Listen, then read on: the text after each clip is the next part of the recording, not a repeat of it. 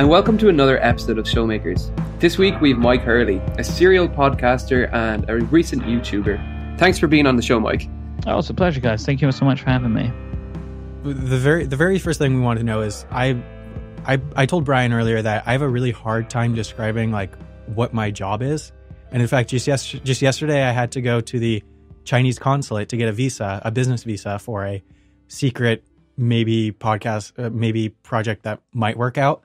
And they asked me like, "So what's your job?" And I didn't really know how to respond to that. As all, I'm always really bad at describing it to you know someone who's not kind of in the general create YouTube slash creator space. So, like, how do you describe what you do to someone who has no idea, who's someone completely outside the space? So, I have like a couple of different levels of this, right? Like, I start at the top level and keep going until somebody's satisfied enough. So, like, I'll begin by saying that I own my own business, right? For some mm-hmm. people, that's enough, right? But then some people want to know more. So, say, okay, so have you ever heard of podcasts? And then I, I wait for the blank stare that comes back at me. Um, and I say, okay, so a podcast is basically like a radio show, like a talk radio show on the internet that people can download and that they can have with them at any time on their phone so they can listen on the commute, that kind of thing. And then if people then are interested or they want to know more, I'll say that um, I am an owner of a company, uh, co founded with my business partner called Relay FM, and Relay FM is a te- mostly technology focused podcast network. We have about 20 some shows, and all of those shows either are about technology or are about something that is kind of geeky or nerdy. You know, like we have shows about pens and space, um, as well as shows about Apple and Google. Um, and part of my job, as well as being a host on a, on a number of shows, um, with running the business, I also run all of the business side and sell all of the ads that we have on those shows. So that's kind of the different facets of my business is that I'm a podcast host, an advertising salesman, and a business owner. Yeah. So that, so we, by our count, you host nine shows. Is that right? Sounds about right. Yeah. More or less. So that means that you must be recording almost every day. But yeah. And then what, what is like a day for you? What, I know there's probably not a typical day, but what are the diff? I guess you you said sales and then hosting and planning. What goes into the day to day of running something like that? So I'm based in the United Kingdom, um, and the majority of people that I work with are based in the US. So my day begins with me on my own uh, because I'm awake before everybody else. And what I'll do in that time, I tend to do a lot of the business owner part. So I take care of paperwork, I deal with emails, that kind of stuff. Then, as it gets to kind of my lunchtime, which is beginning to for people to start to wake up in America, that's when podcast recording will start. So then, the kind of my afternoon, I'll be recording shows, editing shows, and posting stuff. You know, and I'm getting shows out there and releasing them to the world. And then, kind of late afternoon, early evening, that's when I'm talking to people from the advertising side and working on deals and stuff like that. So we can put, so our shows can make money, basically. So my day is kind of broken into these different segments and funnily enough, it just ends up working out to to fit the different segments of the way that I work on my business as well. I'm really sympathetic to the struggle of dealing as as someone who also lives in the UK, despite my accent. I'm really sympathetic to the struggle of basically living on an American schedule over here. Literally, just about to say the same thing. It's like I have my normal like nine to five time. I say nine to five. I never get up at nine. I'm a horrible morning person. Um, like I usually start about ten and work through till five, but then I end up having like a break for two hours, and then it's like right back to work, just trying to to catch up with the American side of the business. That is very that is very normal for me. Like I can sometimes be working up until one a.m. or something like that. This is pretty much my schedule exactly. Yeah. What what what are your feelings? Because right now as I'm sure you know, but most people don't know, we're four hours away from Eastern time because of daylight saving time. What are, what are your opinions on that? I personally hate it. No, I like it. Really? I like it more. Yeah, because I get my work done earlier. I just feel like it's less of a separation. So I feel like because I love the efficiency of being able to do calls at like 8 p.m. once the day is kind of over, but you can't do that with this Yeah, no, I, I, honestly do prefer it because I get all my recording done earlier in the day. Like, yeah, that wo- it works better for me to be closer. Um, in all honesty, like I do, I do like that because I still get still get the time that I need to get stuff done, but I also get the advantage of the extra finishing an extra hour earlier. I like that a lot. Hmm. Well, let's see. You have five five more days to say for that. Something like that, yeah. Mm-hmm. So you're now like yeah, I mean, you're now completely full time as a podcaster, Yep. and you started that about five, six, maybe seven years ago. Is that right? Yeah, I began podcasting in April 2010. That was when I recorded my first show, and at that point, it was j- just a hobby. Um, and then maybe after a year or two, like I started up different shows to cover like different interests and to work with different interesting people. Um, it started to become more of like, uh, I think I could do this in the future. So I made some moves, and you know, I started my very first podcast network, and then I joined with another network and was kind of working on that and honing my craft over the years um, kind of building up my skills and trying to work out what I would think a business would look like. You know, making a, a little money, but but not enough money for it to be uh, a career. And then in 2014, uh, we founded Relay FM, and I quit my job after three months um, or something like that. And maybe it was actually a month or two um, after starting the company. Uh, because things started to go over really well, and that was in uh, I think it was in late 2014 that's an incredible, incredibly short time for it to kick off and be comfortable with quitting your job. Yeah, I mean, it, on when you think of it just in pure months, it makes sense. But really, I was just doing the same thing I've been doing for for four or five years. You know, I knew the same people. Ah, okay, working, you know, working with the same companies. I'd already built and established relationships with some sponsors. They knew who I were. They knew they knew my previous work.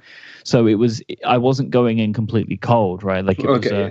It was a new business, but doing the same thing I'd already been doing. Like, for Mhm. example, if I had set up my YouTube channel then and then quit my job after three months to be a YouTuber, that would be a kind of a mind bending experience. But Yeah, really, I was, I was just applying it. my craft in a, in a new way, basically. Brian, it seems to make it into every episode that you quit your job with your subscribers. I'll just cut it out. Just cut it out. That's bold. That is a very bold thing to do. Not not a recommended career move. stupid. Stupid is another word for it. Yeah, that's and it it won't work for most people. you know, it just won't. Uh, some people talk about like, I guess they call it like the golden years of podcasting, right? Huh. Yeah. hmm Wh- Where I- I guess some people describe it as all you needed to get a sponsor was a pulse and a couple thousand listens, right? Yeah. But it seems like you kind of started at on the tail end of that, isn't that right? Um, uh, Relay FM maybe did, but I didn't. You know, I I had sponsors for shows that had a thousand listeners back in 2011. You know, which is, is something that would be more tricky to do these days. I mean, I would maybe not refer to that as the golden age so much because back then, whilst it was easier to get sponsors for smaller shows, there were less companies interested in in sponsorship. Where we are right now, whilst it's trickier for a smaller show to make money, if you have an established show, it's easier to find more companies. And things are changing all the time. The business models are changing. You know, we deal less directly with companies now, and, and there are more agencies, you know, companies that, that will bring together a bunch of different sponsors. And that has its benefits as well because we're used to dealing with a small selection of people and we can reach many different companies to, to, to work with for sponsorship. So I, I wouldn't, calling it the golden age would make it sound like today was worse. It's just different. You know, like really, I would maybe say we're in the golden age now, and that was the silver age, um, because it was waste. It was a simpler time. Because frankly, where we are right now, there are more people in the world that know what my business is. Like they know what podcasting is. Mm. You know, because of shows like Serial. So we're just we're in a different world. But it's it, the one thing that is harder now is somebody starting out.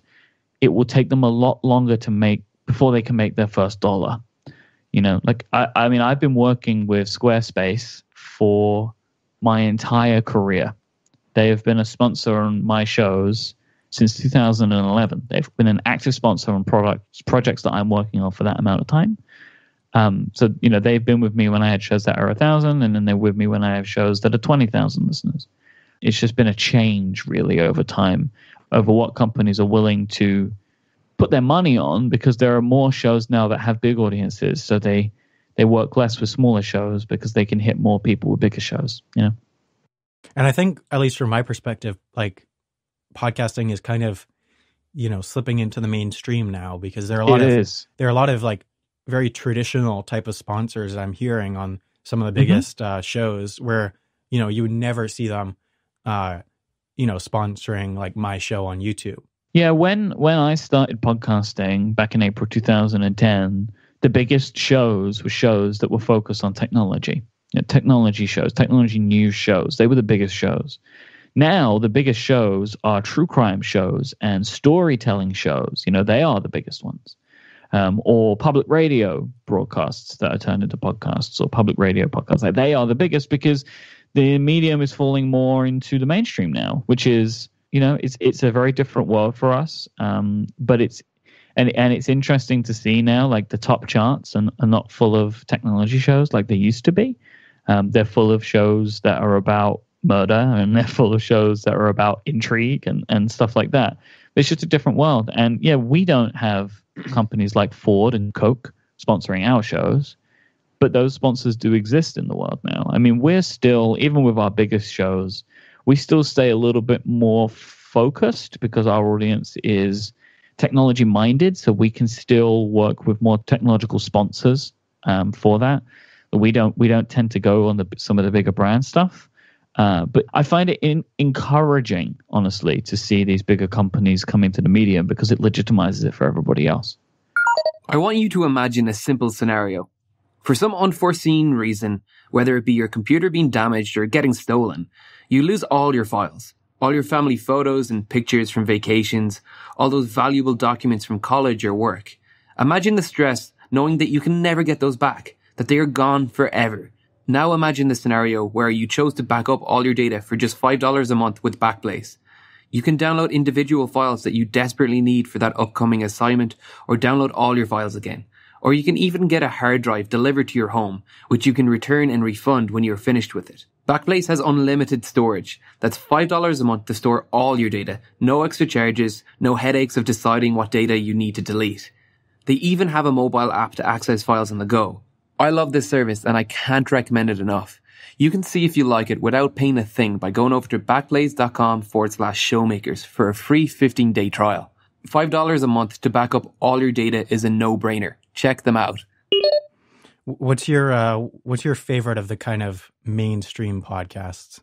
Oh, see, this is where you'll you'll find my break because I I honestly don't really listen to them. Really? Uh, my tastes have not changed over the years. I mean, I really enjoyed the first season of Serial um, up until the end. I, I wasn't a fan of how it ended, um, and I never listened to the the next season. Serial is probably the most mainstream show that I have listened to.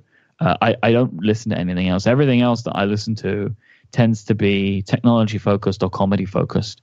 You know, like I listen to, I, I reckon the show that I listen to that has the largest audience um, is a comedy focused advice show called My Brother, My Brother and Me, um, which is on a, a network called Maximum Fun. And they just had a TV deal and stuff like that. That's probably the show I listen to, I would expect, that has the largest audience, but it's definitely not mainstream. What kind of numbers are we talking about here in terms of, like, when you say a large audience in podcasting, what's it like? Because this is an ecosystem that I'm not all that familiar with myself. I would Like- expect that uh, my brother, my brother, and me um, has a multiple hundreds of thousands of listeners. That that would be my expectation, Mm. just based on shows that I have and kind of the reaction to them and and things that are afforded to them. You know, like you would have to have quite a large audience to get a TV show, right? And and it's it's a it's a TV show on an on, online TV network that's owned by NBC, I think, called Seeso but it's still a TV show, right? Mhm. Like it's still a big budget operation. Um, but you know, even a show like Serial, I, I think Serial is in the probably the high hundreds of thousands to low million. I think I would expect Yeah, okay. in, in in audience size. Um, but a but a successful large podcast is in the six figure range. I think. That's just such a such a contrast to YouTube because, I mean, I'm personally, you know, th- those successful large, large podcasts are all kind of big network, multi-person operations, whereas on YouTube, you know, I'm in the high six figures or even low seven figures range for an average, and it's for the most part just me and some other kind of um, people part time. Yeah, Well, there's a show that I can think of called Lore. Lore is one run by one guy, Aaron Mahnke, and Lore has millions of listeners. Like he he is uh, more, I guess, like it, the YouTuber in that regard, right? Like he is one of, I reckon, one of the most popular podcasts in the world. It's just him. Like he just had a t- he he did an actual TV deal. He's doing a show with Amazon, um, working with like the producers of The Walking Dead, and he's just got a book deal. Like that is a one person operation, kind of more like a YouTube channel that has become mammoth, you know. But I know what you mean. Most of the biggest podcasts, like a serial, there's like 10 people, 10, 15 people work on that thing, you know? with 10 people working on a on a podcast what like I, i'm completely foreign to this because like this is really a whole new venture for me which is like something we want to talk about like why a youtuber would get into podcasting and why yourself as a podcaster would go into youtubing. But like 10, 10 people on a podcast seems like a lot of people. Like what what are all these people doing? Is it research and or editing or like the advertisements and everything like that? Yeah, we'll say something like, uh, I mean, you know, I can't talk actual team sizes. I don't know how many people work on Serial, right? But I know it's a team of right. people, and they will have hosts, producers, researchers, and editing assistants and sales assistants, right? Like it's Okay. it's a team to put that thing together because it's really high structured. I mean, so let's say a show like mine, you know, like shows that I do.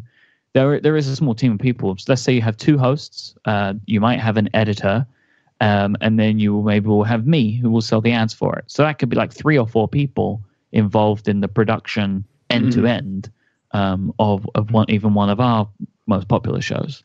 okay So a lot of a lot of our audience, um, you know, from YouTube will maybe have heard of you through uh, your podcast with CGP Grey, Cortex. How did how did that come about? Uh, did you approach him, or did he approach you, or Uh, me, uh, Grey lives in London. We both live in London, um, and we became friends just because he he was listening to my some of my shows, and I was a fan of his videos, and we met up in London for lunch, and then we became friends, and we would meet relatively frequently, maybe once a month or so. And then we were at lunch one day, and I said to him, "We should do a podcast. Like we have a lot of similar in ideas and thoughts in the way that we work, and we have really interesting conversations." It was a lot of just like what what you hear on Cortex, which is how we get work done. We both find that as a very interesting topic in general, just like how we work and how people work and creating systems for work. And we have a, a lot of overlaps there. And I was learning a lot from him. Um, we were bouncing around ideas together, just in general. So I suggested it. We thought about it. We extended our lunch that day into dinner, and we just kept talking. And we worked out an idea. We were pretty proud of it, and then we spent some time honing it into what would become Cortex. Uh, and then we we kind of committed we'd do 10 episodes and we'd see how it went. And we did those 10 episodes and we were both really happy. So we continued the show going from there. Yeah, I found it interesting in the first episode of Cortex where you are very optimistic about it going longer than 10 episodes, but Grey is very much, I don't know, man. I, I was I was confident I could bring him around to my way of thinking. Hmm. sounds very very similar to us? I think Brian's the more optimistic one It's just, that's just me in general, though. because officially officially we're doing a five episode trial. We'll see what happens. He's going to twist your arm, man. You watch out for that guy. Well, you know, we made the mistake of making it all a guest format, and it turns out that it's really hard to get guests. Mhm. Yeah, I've done it. I've ran a weekly interview show for something like four years. So I can sympathize with guest booking. Oh, so you've actually stopped it. Yeah, I, I don't do an interview show anymore. I I, I did uh, I did like three different shows. Um, you know, kind of like it just rebranded or like refocused over the years. Um, and I had a weekly, you know, I had a guest on every week. Um, and I stopped doing that maybe last year, just because it was it's a lot of work and having guests on on a weekly basis finding people finding interesting things to talk about with people can be it can be tricky uh, and i decided to kind of focus on my more topic based shows than my interview shows Mm. This is not making me more optimistic. Yeah, it's a great omen. I, there is great fun to be found in it but it's just can be tricky to manage is all i'll say No, we're we're seeing that already. Like we've had great guests so far, um, but it's we were hoping this would launch a lot sooner than it was, and it's just trying to get people on is a lot more difficult than I expected. I imagine it will get easier once we actually launch, and we're not just like, "Hey, we're two random YouTubers that want to start a podcast. Come on in." And like most people are just like, "Who are you? Go away." it will get easier once people have seen the show heard the show or can hear the show Hmm. it will get easier for you don't worry hmm And even then, like on YouTube, we're not all that well known on YouTube yet. We're kind of upstarts. We're both within our first year, really, maybe a bit more. this is part of the YouTube and podcast thing that, that is so mind boggling to me, right? And you were kind of mentioning with how big the teams are. So, like, you know, your channels, they have like hundreds of thousands of views, uh, subscribers. Your videos have hundreds of thousands, if not millions of views. But it's like, we're not really that well known yet. Like any any podcast that hits those numbers is very well known in the podcasting industry, right? And and it's it's a very funny thing to me to be like, oh, you know, we're just uh, we're just a couple of nobodies floating around with our five hundred thousand subscribers. Um, it, that is a ve- it's it's a very very different world, and I, I it's one of the things that I've found very interesting as I've moved into like I created my own YouTube channel earlier this year where I kind of just wanted to start poking around to understand it a little bit more myself. I had some videos I'm going to make, some vlog style videos. I'm, I'm, I'm working on trying to do some other types of videos as well. Just it's all kind of me, really. I'm, I'm not really educating or anything like that. It's kind of just like a personality focused ch- channel, I guess Mhm.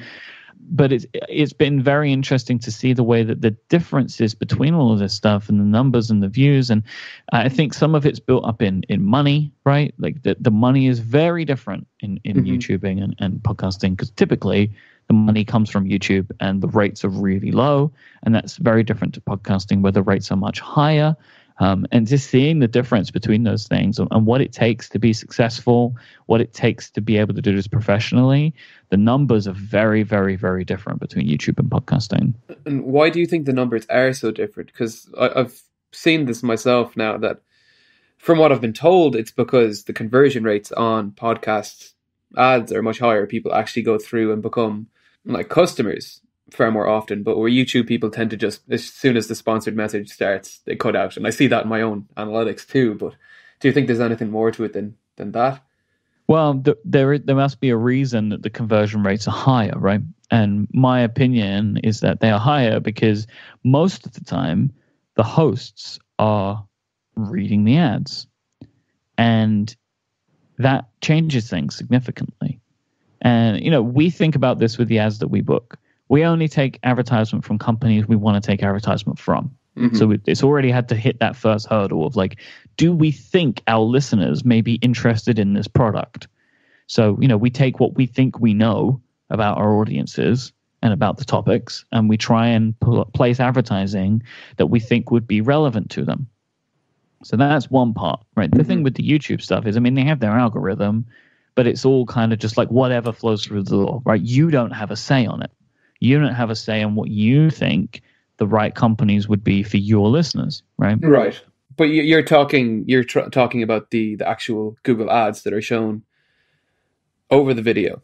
Yeah, But or like- even you know even the pre rolls. I mean, and this you know I don't believe that you can say like yes to Ford, no to Coke, right? You, you know you can't make those decisions. I mean, YouTube's Right. algorithm tries to make them for you, but There's a there's a certain amount of um of decision that you can make in that, and it changes. I I believe like the the you know the highest of the high, um, the most popular the most popular do are able to sell more specialized ads, and I think you're able to block out certain type of types of ads, yeah, categories and stuff, cer- right? certain categories. But I've, I've definitely seen it with that channel, um, Dude Perfect.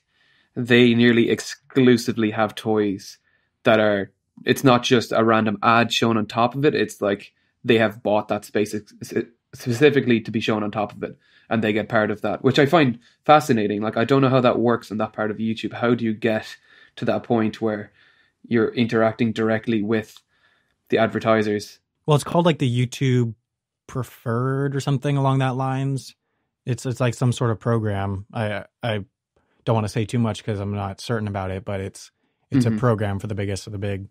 Um, to So like, let's imagine that that you know that's how that works, right? Like YouTube preferred, there's like a di- more direct relationship.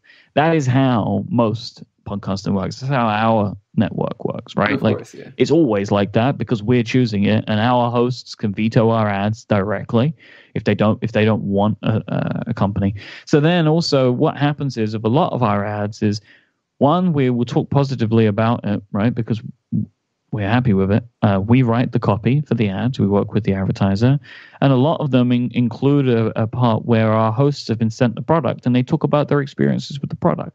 So it's it's a lot more of a personal relationship with the advertisement to the listener. We're talking about what we like about the product. We're giving our opinions on the product. We're talking about it, and plus, I think there's more of a connection between the listener of a podcast and the podcast host than there is with a lot of YouTube stuff.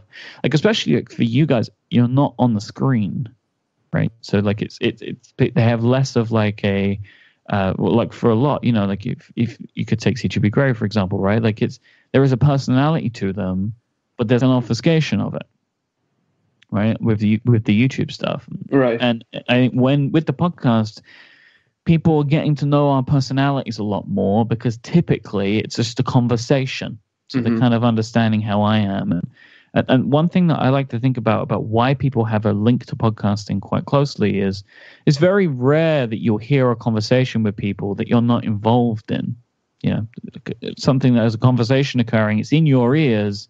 You kind of feel like the silent participant to that conversation yeah. you feel involved. And so i think that all of these things they they add up to people having a much closer connection to their podcasts.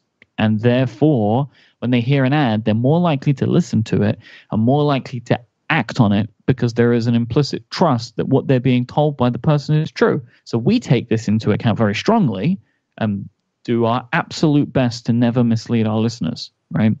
Because we we know we have that trust from them so I think this is why it is possible and is done that you can charge a lot more money for a podcast ad than a YouTube ad because there is this connection that isn't there with the advertising that occurs on YouTube. I mean, I know that you can make a lot more money as a YouTuber if you do your own ads in your own videos, right? Mhm.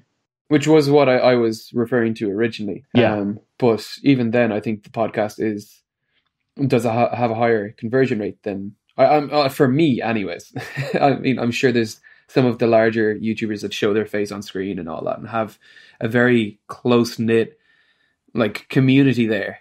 But that's something that they've forged. Like you need to have that community there before you have that kind of relationship with your audience that I just don't have yet.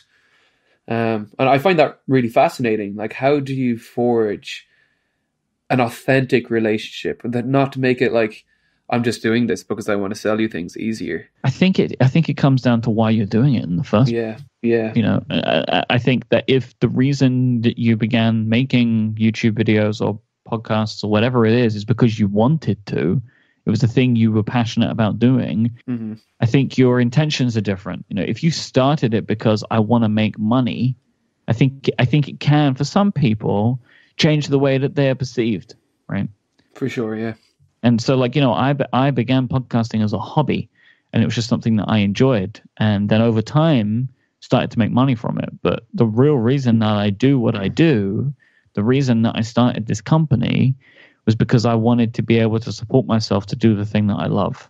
And, and I, I think, anyway, that this, this comes off to the listener um, and they're able to, to kind of to feel like what they're doing is and what they're they're experiencing is somebody who enjoys their work Mhm. and, and I think that that helps build that connection.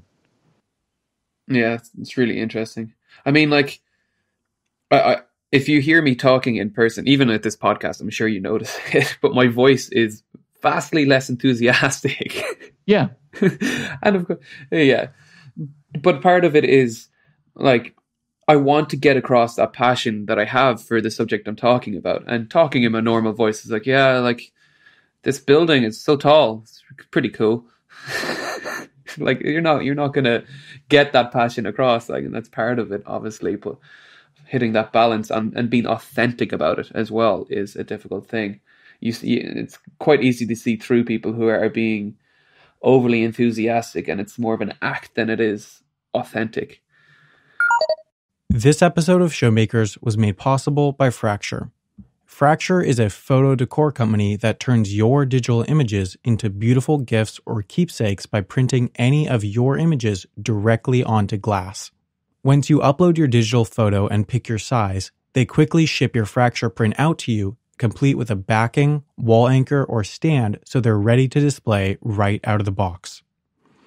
Fracture has been nice enough to let us give away one Fracture print every episode. This episode, we're going back to the pet theme, since there was nothing nicer for me than having fresh pet photos in my Twitter notifications after releasing the first episode. All you have to do to enter to win a free Fracture print is tweet me your pet photo at Wendover Pro with the hashtag FractureMyPet. Fracture is also offering all you wonderful listeners of Showmakers 10% off your first order by going to fractureme.com slash podcast, then make sure to select Showmakers from the one question survey to tell them we sent you. As a reminder, Mother's Day is May 14th in the US, and mothers love photos, at least in my experience. So get your mom a fracture print of you two for 10% off at fractureme.com slash podcast. And so as a successful podcaster, you recently decided to make a foray into YouTube. Why why did you essentially choose to do that? So podcasting was my hobby when I had a job. And then over time, podcasting became my job, and I had no more creative hobbies because all of the stuff that I was doing was contributing to my business. So I didn't have a side project anymore. I've always had side projects. So all of the side projects that I found myself doing, or that I thought were doing, were just more podcasts about different things. You know, because I was doing some shows that I knew would never make money, but I wanted to do them because it was something I was interested in. But the process of having the show was still very much like my business. So I didn't feel like I had that side project anymore, which is something that I've always enjoyed doing. It, it helps me focus on my work more if I have this other thing where I can put some other creative energy into. It kind of helps spread me out and stops me from burning out on doing the same thing too often. And as the more I was talking and working with Grey, the more I was starting to pay attention to YouTube the more subscriptions I was starting to have, the more videos I was starting to watch, I was noticing that for me personally, YouTube was becoming a more and more frequent entertainment like avenue in my life. So as I started watching more and consuming more, I started thinking to myself, hmm, I could do something like that. Or I would see something and be like, oh, that's interesting. I would maybe try and do it this way you know, or I would try and do it that way. Or if I was going to make a video about this, what would I do? It started like bouncing around in my brain a lot to the point where I just thought to myself, I'm going to give this a go. And vlogging makes the most sense to me because it's the thing that I think I could produce most easily. And the majority of videos that I've done have been more vlogging style, me talking to the camera or me showing something that I'm doing in my life, me showing a trip that I'm going on, that kind of thing. Um, I really, for me, I just wanted to start doing this to learn a new skill, to have a new hobby, and then maybe turn it into a thing one day. You know, continue to hone and build my tone of voice and the types of videos that I want to make and get better and better at it. That if I was able to build a even small in YouTube sense following, it would maybe then be able to help my other side of my business as well, right? So let's say one day I had 50,000 YouTube subscribers. I'm going to have a section of those people that have never listened to any of my podcasts. So if I got 5,000 more people to go listen to one of my shows, that could be really great, you know, and, and that would be a nice thing for me to continue to build over time, as well as being able to have a hobby. Like I don't ever envision that I would be a YouTuber and not a podcaster. I'm always going to be a podcaster, but who also makes YouTube videos. That's kind of the, the thing for me. It's like my little side project right now. I think we both enjoyed your I guess the the some of the vlog type videos on your channel a lot because you managed in I think you have 16 or so videos up. You managed in those to go to Brian's home country of Ireland, where I live now in Scotland, and my home or and where I grew up in the DC area, including the best museum in the world, the Udvar Hazy Space Museum. Fantastic museum. Brian, you have to go there. One of the reasons that I Where wanted to do vlogging is because I travel quite a lot. Um, I go to conferences, and because I work with so many people in the US, so many of my best friends live in America. So I, I take a lot of trips out to the US every year. So travel vlogging is something that makes sense to me. Like I, you're going around doing different things. My life during that period of time is more exciting than usual. Like I have stuff that I can show to people.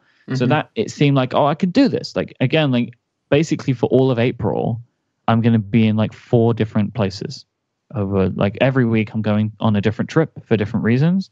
It's like I have a bunch of stuff I can shoot with that because it's interesting. Um, so travel vlogging and vlogging in general made sense to me as a thing that I felt like I could do because it's also a type of vlogging that I really associate with that I personally really enjoy watching. Casey Neistat is a huge influence on me. Mhm. Um, and I really enjoy when he shows the trips that he takes. So, like for me, it was like that was an obvious thing that I would want to do because I also take some trips that I think are kind of fun, and I think people will get a kick out of seeing it.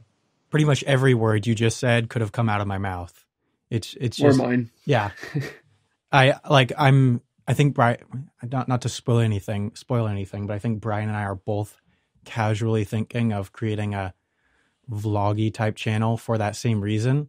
You know, not not not on like a daily thing, but for travel because I'm also, you know, in 2 weeks I'm leaving and I'm going to be home. I'm going to be like here in Scotland for I think 2 days in the month of April.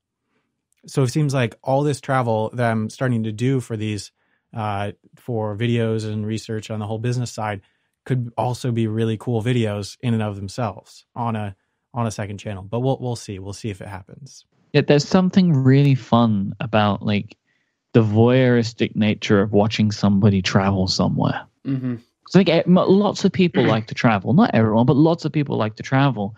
But you're never going to get to travel to all of the places in the world. So by watching somebody take that trip, you feel like you get a little bit of the experience. Yeah, fulfills it. Yeah, it fulfills like part of part of like the desire. Like you know, you just on like a Tuesday night and you feel like, oh, I really wish I was traveling right now. But you can kind of get part of that experience through watching. You know, I go back and watch old Casey Neistat vlogs all the time from his yeah, because I I also like I was almost like I was ninety percent in it for his travel vlogs, ten percent for his other vlogs. Yeah. Mm. So you- I just thought to myself, I can do this. Like I, I take a bunch of trips. I'm going to give this a go, and and that was what that was what was really exciting to me. I also really love technology review videos, like really good products reviews from people like MKBHD and Austin Evans and people like that. So that's another thing that like I want to try and do more of, but that's a lot harder. To, that's a lot harder than a blog. it's Mhm. a lot, lot harder. Yeah, you're really like a mini Casey Neistat. Yeah, because that's what he does too, Yeah, yeah. right? I mean, look, Casey Neistat is is the reason that I am doing this. Like, I made my decision to start a vlogging channel when me and my fiance were watching. We watched every Casey Neistat video in order. We just got hooked, and he is a huge influence to me, and and somebody that I super respect. I think that he is a very very interesting person. He has a great story, and you know he is my inspiration. He's the reason that i want to make the videos that i make the way that i make them you know? There are so many people including me that are influenced by his style you know like the way he shoots the way he edits. Like it is for me i'm like okay i can see that. Like that is the base of where i'm building my own tone of voice is from things that i've learned from him which i think is the way that that people learn these new things you know? Like the way I learned podcasting the way that I do is by listening to shows from like a network called TWiT and then a network called Five by Five. Like they were the the types of shows that I make were based on templates that they created. And and now I know enough that I make shows in my way. Right. But when Mhm. I was beginning, I was building from somebody else. That yeah, but that's really something I've only noticed in my own work recently as well. It's like when you realize where who was inspiring you from the start, and when you finally found your own voice doing it, is a really really cool moment. Because I only just noticed it the last day. Because I don't know if you've heard of. Do you know Cold Fusion? Yep. He's one of the kind of techie channels, and he was one of the the first channels. Is like, hang on, I can do this too. Because I was watching a lot of his videos, and I kind of started off trying to emulate his, and it wasn't working out so well and kind of moved towards my own style. I find that really cool. But yeah, Casey Neistat is. I, I don't know. uh, Did you watch many vloggers before that, or was he? Do you think he was the first vlogger you watched? He was the first vlogger that I watched with any frequency. Because I felt like he was the first that I watched that I didn't feel like slapping when I watched them. like it, it, it didn't. Yeah, it didn't feel he was doing it for vain reasons. When I was watching other vloggers, I always felt like they were just documenting their life for attention, whereas he actually put artistic effort into it. But I could be wrong on that. I'm not sure, but that's just my personal feelings. It is. It is a lot of why we, me and my girlfriend, were, were- we were drawn to him was because of his presentation style, right? Like, it wasn't just what he was saying, but it was the way that he showed things, Mm. and that that's like a thing for me. It's like I can't I can't make footage look the way that he does, but I take time when I'm making my vlogs to try and find some shots that I think are creatively interesting, Mhm. which I don't think I would have necessarily thought of on my own if like I just thought, oh, I'm going to make a video diary. I don't think I would have done that, right? So that's like his influence, you know? Yeah, Well, I think before Casey Neistat came along and completely changed like the whole vlogging game, uh, the reason people watch vlogs were like kind of more for the story and to follow it kind of long term. Whereas with Casey Neistat, you could very easily watch one video and be entertained, but also, Yep. you know, there's a you watch like one of his first vlogs when he started out. I can proudly say that I was subscribed to him before the vlogs.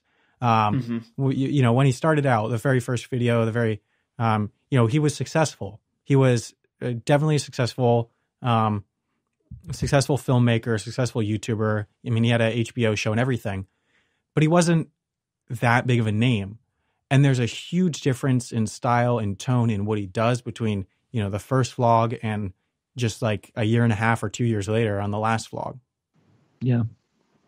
but anyway yeah, you can really see his change and his growth. I don't think there's any other YouTuber has who has had such a such an influence on other YouTubers. I don't think anyone has had more of an influence on other YouTubers than Casey Neistat.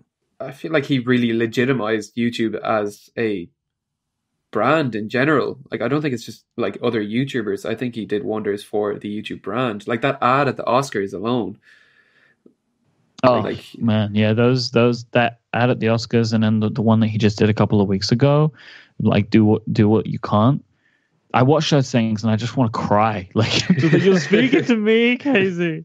You know, like he he under like I, I agree. Like he he he didn't just make vlogging better. You know, I, I think that even people that don't make vlogging channels can can and do learn from him. You know, like you don't have to make videos in his way to take a lesson away from the way that he makes his videos, right? Mm. You can make a video about anything, but there, there's stuff that you can pick up from what he does and, and his, his editing his editing style you can learn a huge amount from. Like even like i i put a, a really short kind of vloggy thing at the end of my my last video. And like there's one edit in there that i pretty much ripped straight from him where he kind of puts the audio over the footage that he cuts over. So like the footage starts before the next audio starts. Yeah, so the transition isn't as as awkward little just tricks small- like that. yeah, just it does wonders for keeping the the continuity of flowing. So you're never like in that awkward kind of like, I messed up my lines, so here's a new shot. This episode of Showmakers was made possible by Squarespace, the best way to build and host your website. Instead of giving you the same spiel you hear every time, I'm going to tell you my personal top five favorite things about Squarespace since I use them for both my Wendover Productions and Showmakers website.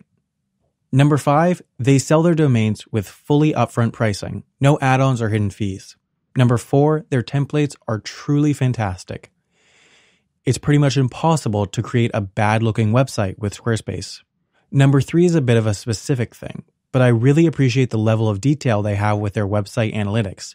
It helps you understand who and how people are visiting your website. My number two favorite thing about Squarespace is their support. I've only had to use it once, but they responded quickly, courteously, and helpfully, and they have both a live chat option and an email service that responds 24 7. But my number one favorite thing about Squarespace is that they are supporting showmakers and giving you, the listener, 10% off your first order with Squarespace by going to squarespace.com slash showmakers. Make your move to begin your professional web presence with Squarespace over at squarespace.com slash showmakers. One of the first things Brian and I talked about when we were thinking about what guests we want to book is when when do we try to get Casey Neistat? how many? This how many, is this is the age old question with guest focused podcasts. Yeah. Like you have your list, right? Your your dream list of people, and like when do we invite this person? Yeah, that uh, I'll tell you right now, it's it's this that is a tricky point to try and think that when you work out you can get there. But you should do it, but uh, wait until you're at least out in the world. I think first. Yeah. Well, I think for me it was mainly Elon Musk and Adam Savage. I think they were at the top of my list now. They are some lofty goals, my friends. you have a you have a very good dream list. if you know any of them, let us know. I wished.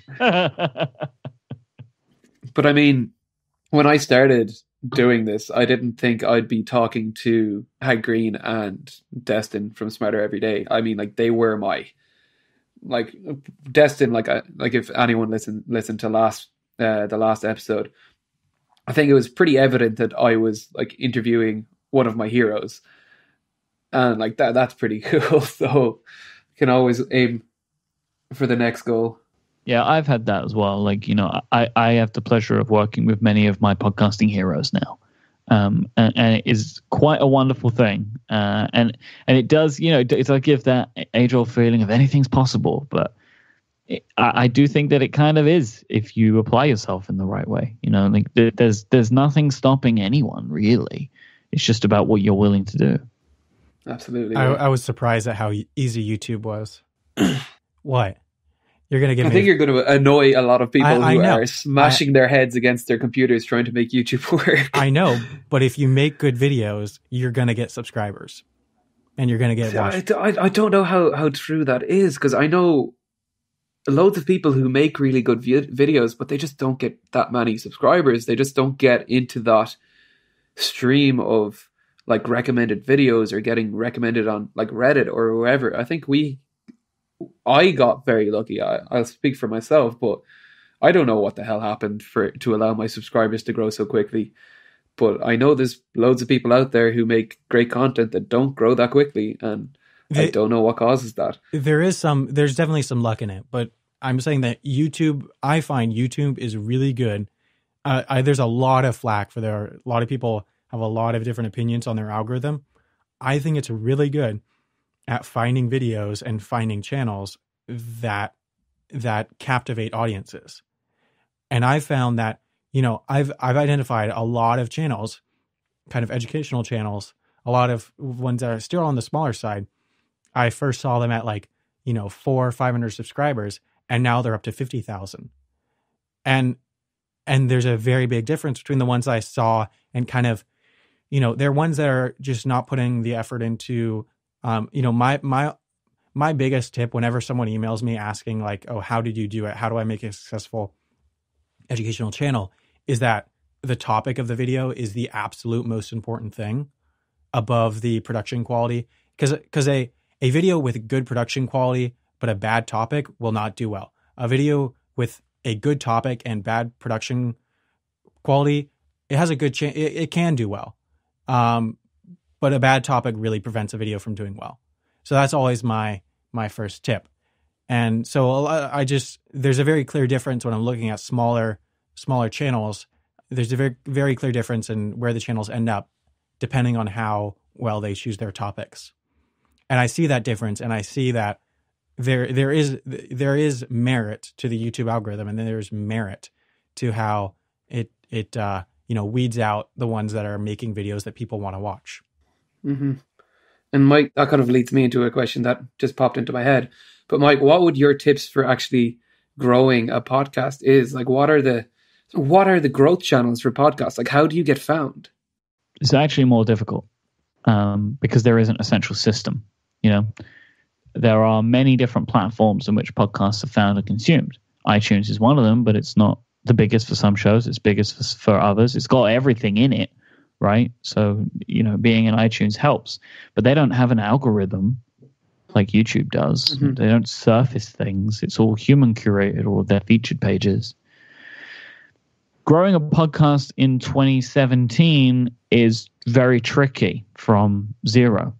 When I started in 2010, having a show that had guests on it within my industry, within kind of like the technology industry, mainly focused on uh, on and around Apple, it was much easier to grow a show by having guests because nobody else was really doing it that much, and a lot of those people didn't have podcasts of their own, so it would be interesting to hear them.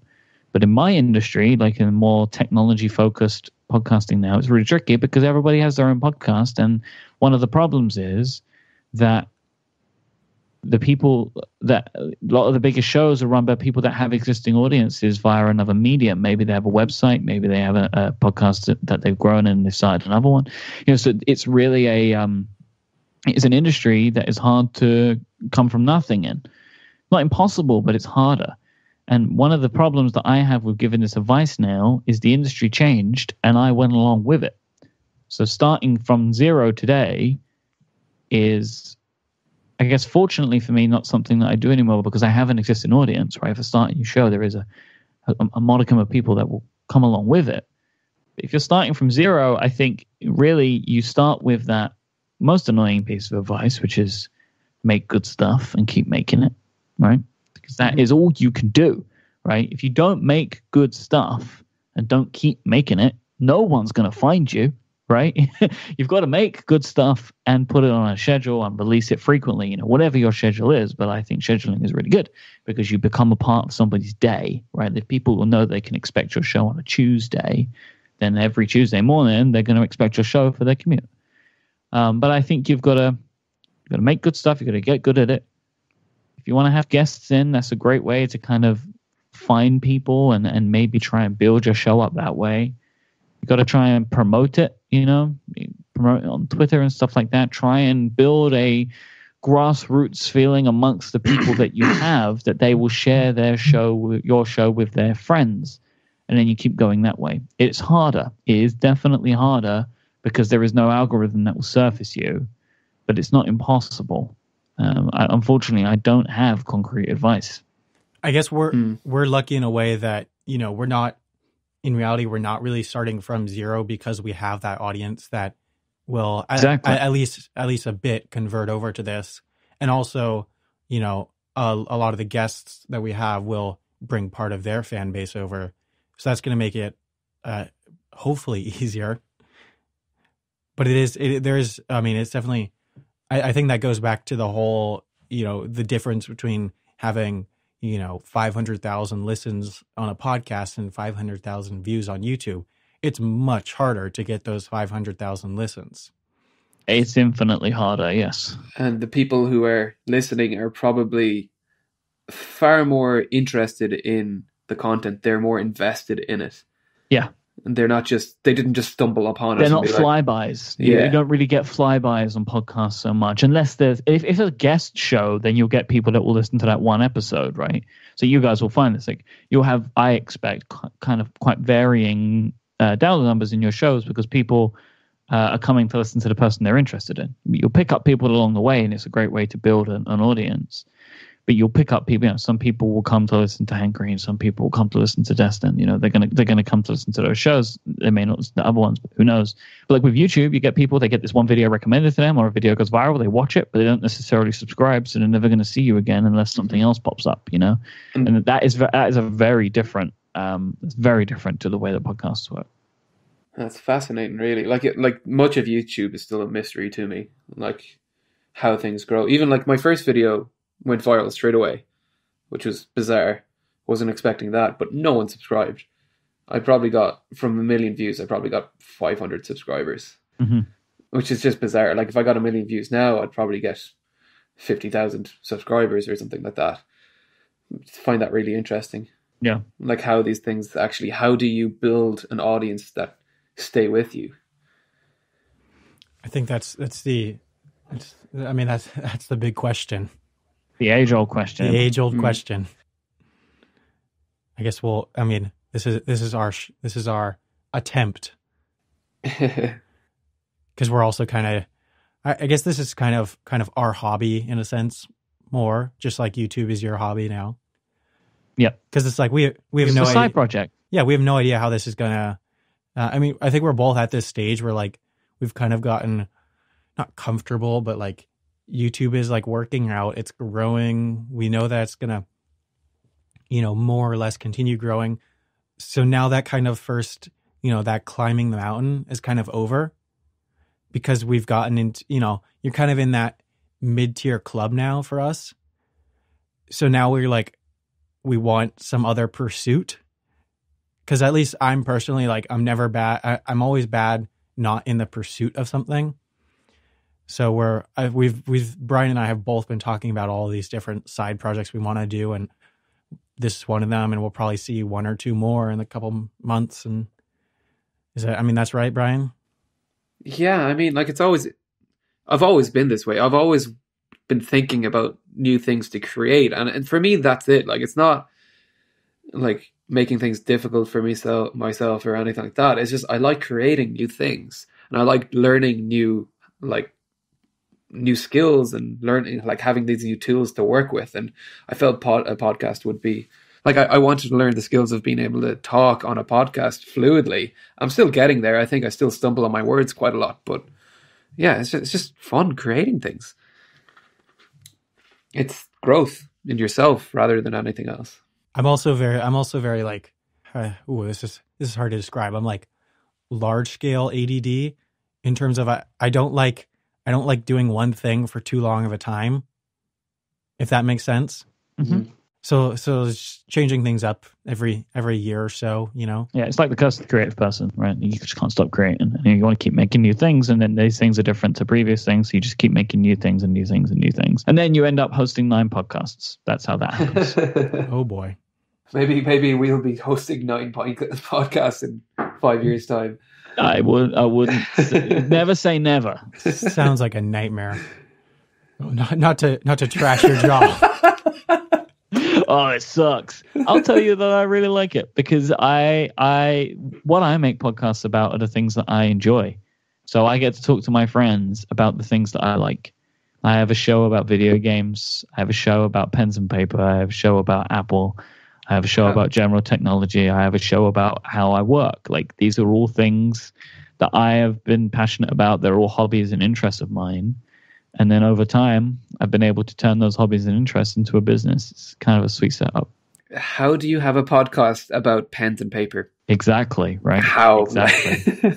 Exactly. What do you talk about? We talk about pens and paper. We talk about new pens. We talk about what we think about stuff. We talk about it's an industry that has news, you know, like like all industries do. Uh, we review products. It's possible. It is possible to review a pen via the medium of audio, and that is my longest show. We are approaching episode 250. Um, I have been making it since 2012. It's the show that I've stuck around with the longest. I've, I've shut down previous shows, started new shows.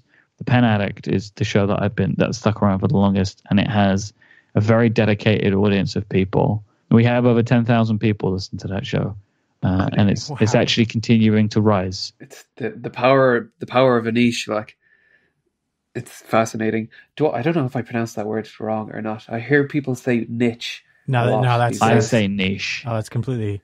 It's definitely niche. Don't don't worry, Brian. Yeah, Okay, good. don't worry. I worry about these things. I think niche is an Americanism, No, I don't Okay. think so. but don't tell him I said that. Okay, well, Myke, that was I think hugely interesting. Just getting that perspective on this medium that we're dipping into right now. So we really appreciate uh, you coming on and talking about all that.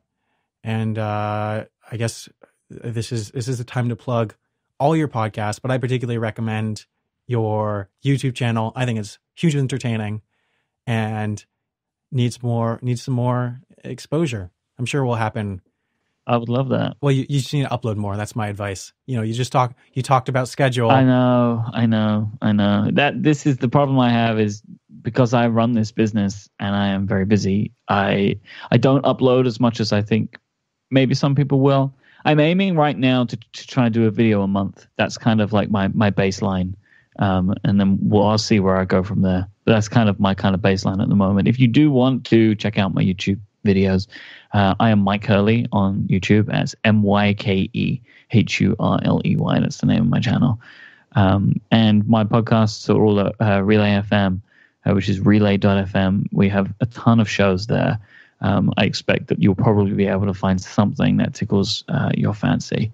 Some I'm on, some I'm not, but they're all great. Well, thank you again, and uh, Mhm. come back next time for an interview with a unnamed guest. Thanks so much for having me, guys.